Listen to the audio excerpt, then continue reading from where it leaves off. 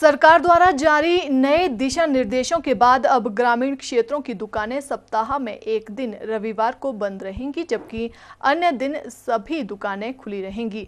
अब दुकानें लॉकडाउन से पहले जिस तरह से खुला करती थी, उसी तरह से खुला करेंगी। नए निर्देश के अनुसार अब रविवार को केवल शराब के ठेके और बार्बर की ही दुकानें खुली रहेंगी। एसडीएम कंडाघाट, डॉक्टर संजीव धीमान ने उपमंडल कंडाघाट के सभी व्यापार मंडल के सदस्यों से अपील की है कि सरकार द्वारा जारी दिशा निर्देशों की पालना करें। साथ ही दुकानों में सोशल डिस्टेंसिंग को बनाए रखें और अपनी सुरक्षा का भी ख्याल रखें। जैसा कि नए नियमों के अनुसार जो भी दुकानें हैं ग्रामीण क्षेत्रों में, वो बाकी दिनों में खुली रहेंगी। परंतु सप्ताह के एक दिन जो है वो उनको बंद रखने के आदेश हुए हैं।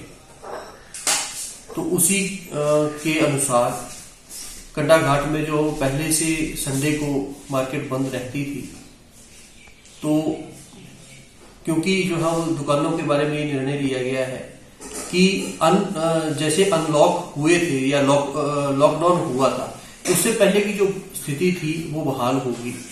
तो उसके पहले की स्थिति ये थी कि बाकी दिनों में तो दुकानें खुली रहती थी, संडे के दिनों में दुकानें बंद रहती थी। तो उसी तरह से आगे भी यही रहेगा। केवल शराब के ठेके और जो नाई की दुकानें पहले भी खुली होती थी संडे वाले दिन तो वैसे वो दुकानें भी खुली रहेंगी।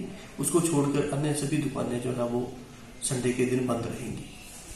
मैं सभी व्यापार मंडल के सदस्यों से ये अपील करता हूँ कि वे इन नियमों का पालन करें और जो भी लोग दुकानों में आ रहे हैं, उनके लिए सोशल डिस्टेंसिंग और मास्क, ग्लव्स का जो वो व्यवस्था उसी हिसाब से देखें, अपने आप भी जो ग्लव्स पहन के रखें, और जो लोग आ रहे हैं बाज़ार में, वो मास्क पहनकर ही आए, वो अपनी दुकान में व्यक्ति को जो सैनिटाइजर है, वो रखें, ताकि व्यक्ति जब भी दुकान में एंटर करे, वो सैनिटाइजर लगाकर ही एंटर करे। सिटी चैनल के लिए कंडाघाट से ललित वर्मा की रिपोर्ट।